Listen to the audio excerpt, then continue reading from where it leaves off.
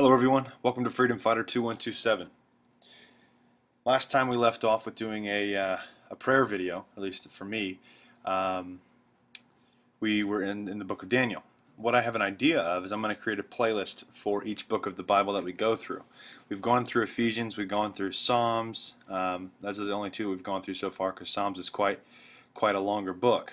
Um, so, that being said, I'm going to try and create a playlist for Ephesians, and I'm going to try and create a playlist so far for Daniel, and then the next book, so on and so forth. You get the point? Alright, let's continue. Nebuchadnezzar, the king made an image of gold, whose height was threescore cubits, and the breadth thereof six cubits. He set it up in the plain of Dura, in the province of Babylon. Then Nebuchadnezzar, the king, sent to gather together the princes, the governors, and the captains, the judges, the treasurers, the counselors, the sheriffs, and all the rulers of the provinces to come to the dedication of the image which Nebuchadnezzar the king had set up. Then the princes, the governors, and captains, the judges, the treasurers, the counselors, the sheriffs, and all the rulers of the provinces were gathered together unto the dedication of the image that Nebuchadnezzar the king had set up. And they stood before the image that Nebuchadnezzar had set up. Then an herald cried out, To you it is commanded, O people, nations, and languages, that at what time ye hear the sound of the cornet, flute, harp, sackbut, psaltery, dulcimer, and all kinds of music, ye fall down and worship the golden image that Nebuchadnezzar the king has set up. And whoso falleth not down and worshippeth shall the same hour be cast into the midst of a burning fiery furnace. Therefore, at that time, when all the people heard the sound of the cornet, flute, harp, sackbut, psaltery, and all kinds of music, all the people, the nations, and the languages fell down and worshipped the golden image that Nebuchadnezzar the king had set up. Wherefore, at that time certain Chaldeans came near and accused the Jews. They spake and said to the king, Nebuchadnezzar, O king, live forever. Thou, O king, hast made a decree, that every man that shall hear the sound of the cornet, flute, harp, sackbut, psaltery, and dulcimer, and all kinds of music shall fall down and worship the golden image. And whoso falleth not down and worshippeth, that he should be cast into the midst of a burning fiery furnace. There are certain Jews whom thou hast set over the affairs of the province of Babylon, Shadrach, Meshach, and Abednego. These men, O king, have not regarded thee. They serve not thy gods, nor worship the golden image which thou hast set up. Then Nebuchadnezzar in his rage and fury commanded to bring Shadrach, Meshach, and Abednego. Then they brought these men before the king. Nebuchadnezzar spake and said unto him, unto them, is it true, O Shadrach, Meshach, and Abednego? Do not ye serve my gods, nor worship the golden image which I have set up. Now if ye be ready, that at what time ye hear the sound of the cornet, flute, harp, sackbut, psaltery, and dulcimer, and all kinds of music, ye fall down and worship the image which I have made. Well, but if ye worship not, ye shall be cast the same hour into the midst of a, uh, of a burning fiery furnace. And whose who is that God that shall deliver you out of my hands? Shadrach, Meshach, and Abednego answered and said to the king, O Nebuchadnezzar, we are not careful to answer thee in this matter. If it be so, our God whom we serve is able to deliver us from the burning fiery furnace, and he will deliver us out of thine hand, O king. But if not, be it known unto thee, O king, that we will not serve thy gods, nor worship the golden image which thou hast set up. Then was Nebuchadnezzar full of fury, and the form of his visage was changed against Shadrach, Meshach, and Abednego. Therefore he spake and commanded that they should heat the furnace one seven times more than it was wont to be heated. And he commanded the most mighty men that were in his army to bind Shadrach, Meshach, and Abednego, and to cast them into the burning fiery furnace. And these men were bound in their coats, their hosen, and their hats, and their other garments, and were cast into the midst of the burning fiery furnace. Therefore, because the king's commandments commandment was urgent, the furnace exceeding hot, the flames of the fire slew those men that took up Shadrach, Meshach, and Abednego. And these three men, Shadrach, Meshach, and Abednego, fell down bound into the midst of the burning fiery furnace. Then Nebuchadnezzar the king was astonished, and rose up in haste, and spake, and said unto his counselors, Did not we cast three men bound into the midst of the fire? They answered and said unto the king, True, O king. He answered and said, Lo, I see four men loose, walking in the midst of the fire, and they have no hurt, and the form of the fourth is like the Son of God. Then Nebuchadnezzar came near to the mouth of the burning fiery furnace and spake, and said, Shadrach, Meshach, and Abednego, Ye servants of the Most High God, come forth and come hither. And Shadrach, Meshach, and Abednego came forth of the midst of the fire. And the princes, governors, and captains, and the king's counselors, being, being gathered together, saw these men, upon whose bodies the fire had no power, nor was an hair of their head singed, neither were their coats changed, nor the smell of fire had passed on them. Then Nebuchadnezzar spake and said, Blessed be the God of Shadrach, Meshach, and Abednego, who hath sent his angel and delivered his servants that trusted in him, and have changed the king's word, and yielded their bodies, that they might not serve nor worship any god except their own God. Therefore I make a decree that every people, nation, and language which speak anything amiss against the God of Shadrach, Meshach, and Abednego shall be cut in pieces, and their houses shall be made a dunghill, because there is no other God that can deliver after this sort. And the king promoted Shadrach, Meshach, and Abednego in the province of Babylon. Daniel 4. Nebuchadnezzar, the king unto all people, nations, and languages that dwell in all the earth, peace be multiplied unto you. I thought it good to shew the signs and wonders that the high God hath wrought toward me. How great are his signs!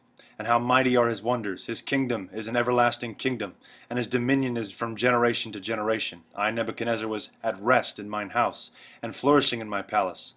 I saw a dream which made me afraid, and the thoughts upon my bed and the visions of me at my head had troubled me.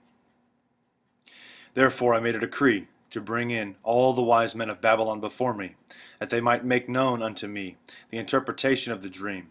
Then came in the magicians, the astrologers, the Chaldeans, and the soothsayers, and I told the dream before them, but they did not make known unto me the interpretation thereof. But at the last Daniel came in before me, whose name was Belshazzar, according to the name of my God, and in whom is the spirit of the holy gods. And before him I told the dream, saying, O Belshazzar, master of the magicians, because I know that the spirit of the holy gods is in thee, and no secret troubleth thee. Tell me the visions of my dream that I have seen, and the interpretation thereof. Thus were the visions of mine head in my bed. I saw, and behold, a tree in the midst of the earth, and the height thereof, and the height thereof was great. That tree grew, and was strong, and the height thereof reached unto heaven, and the sight thereof to the end of all the earth. The leaves thereof were fair, and the fruit thereof much, and in it was meat for all. The beasts of the field had shadow under it, and the fowls of the heaven dwelt in the boughs thereof, and all flesh was fed of it. I saw in the visions of my head upon my bed, and behold, a watcher and an holy one came down from heaven. He cried aloud and said thus, Hew down the tree, and cut off his branches. Shake off his leaves, and scatter his fruit. Let the beasts, beasts get away from under it, and the fowls from his branches. Nevertheless, leave the stump of his roots in the earth, even with the band of iron and brass in the tender grass of the yield, and let it be wet with the dew of heaven. And let his portion be with the beasts in the grass of the earth.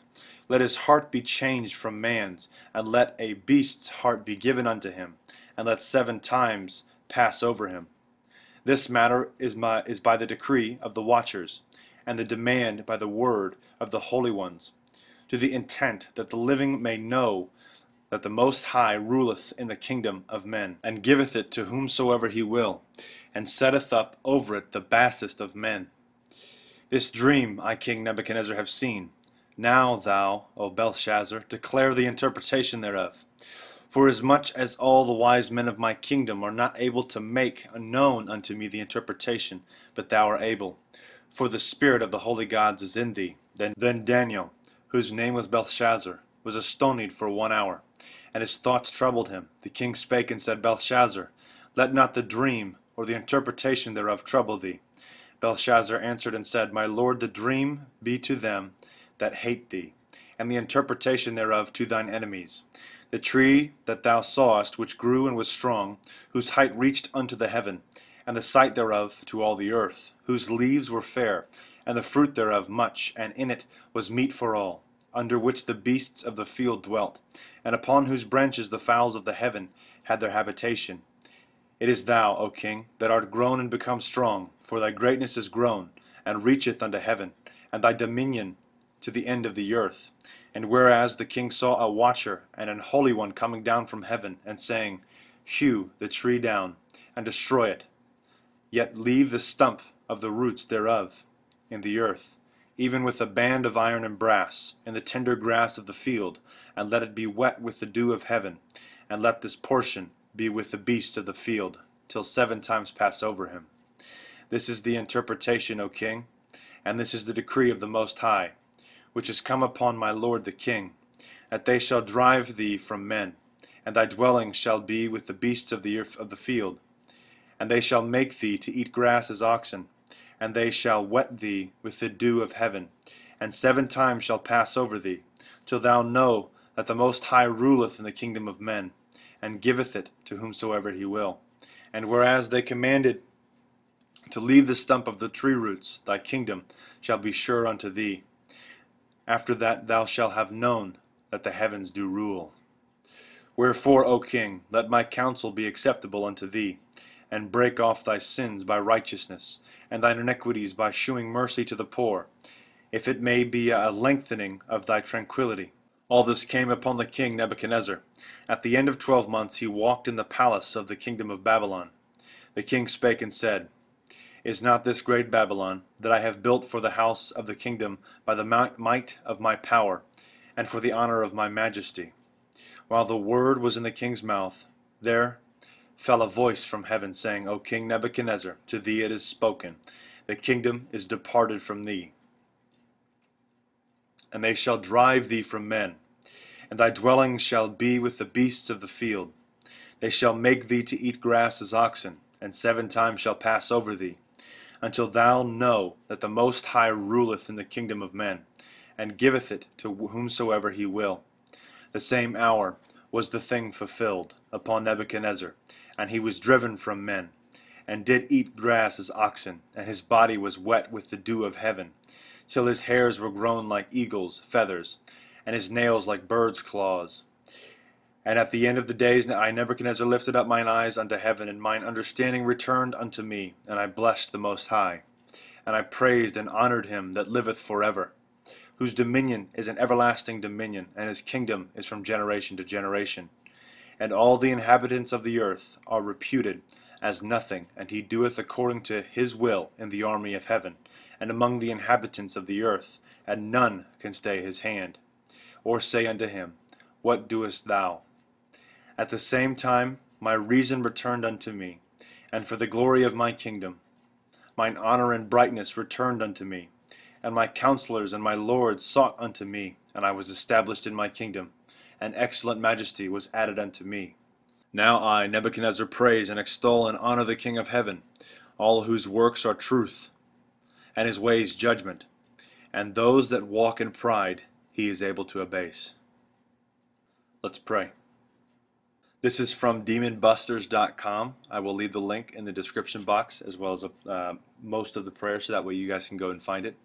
This is putting on the armor of God, Ephesians chapter 6 verse 10 through 18. I have read this one previously. It has been a while. Uh, for it's been a while since I've read it online on YouTube, so I figured I might as well go ahead and read it. I place around my waist the belt of truth. We will know the truth, and the truth will make us free. We are free because whoever the Son sets free is free indeed. We are free from Pause and say whatever you have been set free from. The bonds of sin and death. Addiction.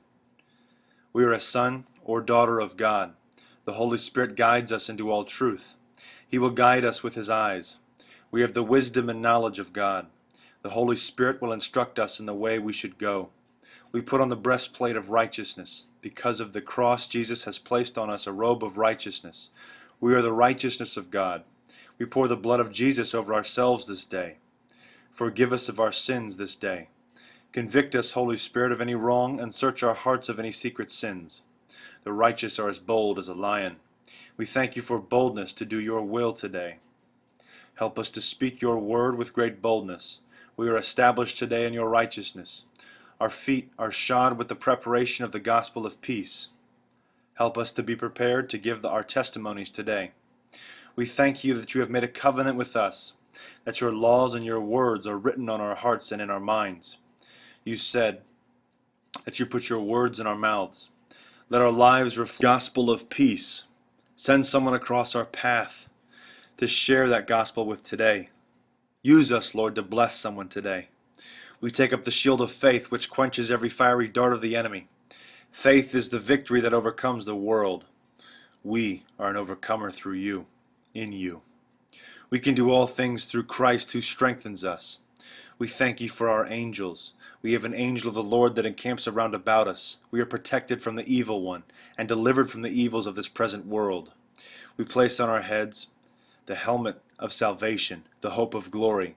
We have the mind of Christ, and no weapon formed against our minds will prosper. We think on things which are good, pure, perfect, lovely, and of good report. We will take authority over our minds today. We have authority over all the power of the enemy. We choose to cast down every vain imagination that exalts itself against the knowledge of God, and we will bring them into captivity, to the obedience of Christ. We belong to Jesus, and we give the Holy Spirit control of our thoughts. We submit our minds to God, resist the devil, and he must flee. We take the sword of the Spirit, and we use it on the offense. We will not shrink back. We are a soldier for Christ soldiers for Christ. We wrestle against principalities. We thank you for the power of your word. It is sharper than any two edged sword. It will not return void, but it accomplishes the task it was sent for. Your word is true. You are not a man that you would lie. We are doers of your word. Your word is a lamp unto our feet and a light unto our path. We will hide your word in, in, our, in our hearts so that we will not sin against you. We will pray in the Spirit on all occasions, because the Spirit will pray through us the will of God.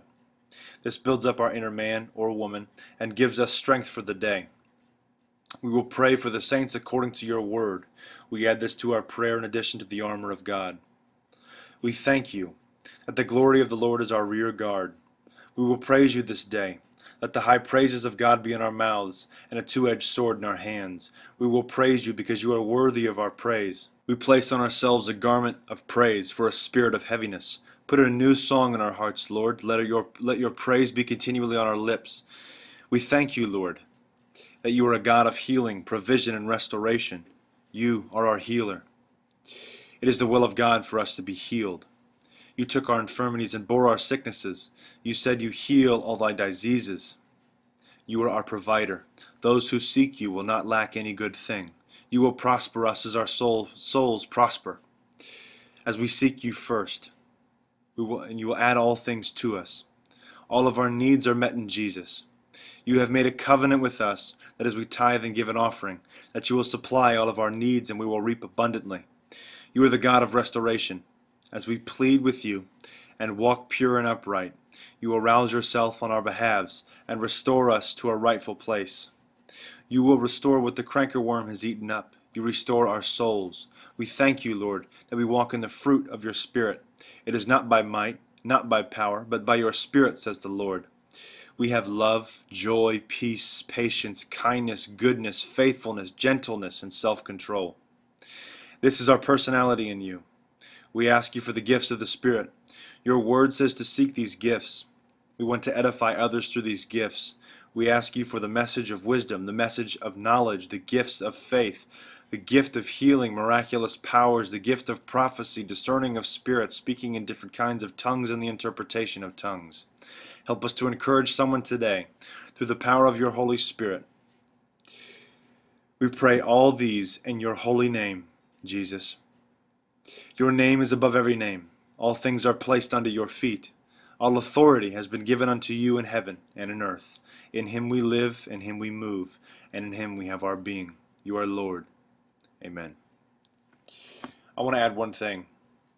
I would like you guys to take a minute and seriously pray for people around you. Pray for your brothers and sisters. Pray for your Christian brothers and sisters. Pray that deliverance comes to the forefront of, of the church, of Christianity. Pray that men everywhere put God first. I want to thank you all for watching. Please check out the websites freedomfighterreports.com and socialexodus.net. God bless and carry on.